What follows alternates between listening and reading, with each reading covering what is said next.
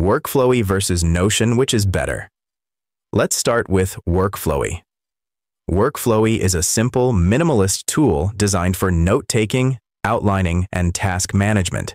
It uses a bullet point-based system, allowing you to create nested lists to organize your ideas hierarchically.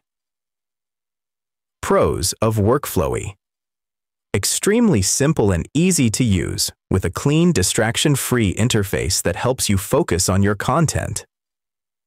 Great for creating outlines, brainstorming, and managing to-do lists with unlimited nesting and quick navigation.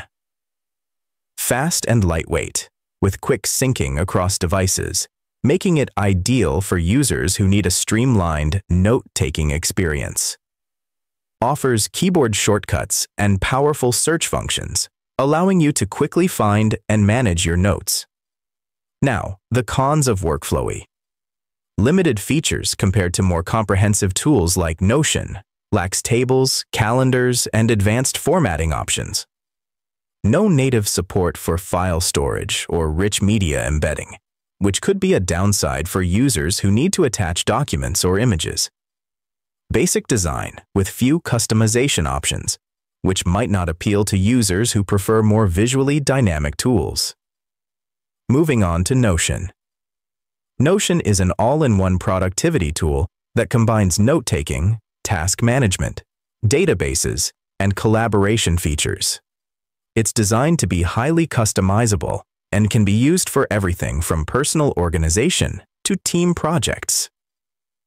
Pros of Notion Extremely versatile, allowing you to create notes, databases, Kanban boards, calendars, and more, all within a single platform.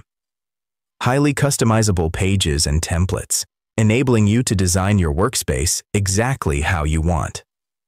Great for collaboration with real-time editing, comments, and shared pages, making it ideal for teams.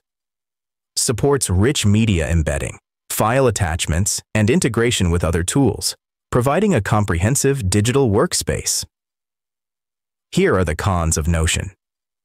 Can be overwhelming for new users due to the vast number of features and customization options.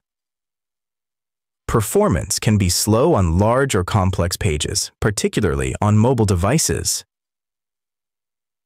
Limited offline access. Some features require an internet connection, which could be a downside for users who often work offline. So, which is better? Workflowy or Notion? Choose Workflowy if you're looking for a simple, fast, and focused tool for outlining, brainstorming, and managing lists.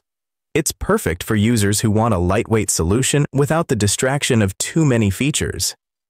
Choose Notion if you need a comprehensive productivity tool that can handle everything from notes and tasks to complex databases and team collaboration. It's ideal for users who want a highly customizable and versatile platform. Ultimately, the right choice depends on your personal or team needs, how you plan to use the tool, and your preference for simplicity versus complexity. Let me know in the comments which tool you're leaning towards. Thanks for watching. Please don't forget to like and subscribe for more.